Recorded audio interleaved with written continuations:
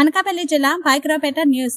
పాయకరావుపేట మండలంలో పియలపురం గ్రామానికి చెందిన బాధితురాలు అయినవల్లి సాయి లక్ష్మికి ప్రభుత్వ జిల్లా కలెక్టర్ వారి ఆదేశాల మేరకు తక్షణమే స్పందించి మండల తహసీల్దార్ జయప్రకాష్ జగనన్న కాలనీ లేఅవుట్స్ వన్లోకి వెళ్ళి అక్కడ ఉన్నటువంటి స్థలాన్ని కేటాయించి బాధితురాలకు పియలపురం జగనన్న కాలనీలో ఇంటి సైడ్ నైన్టీ డేస్ స్కీమ్లో మంజూరు చేయడం జరిగింది.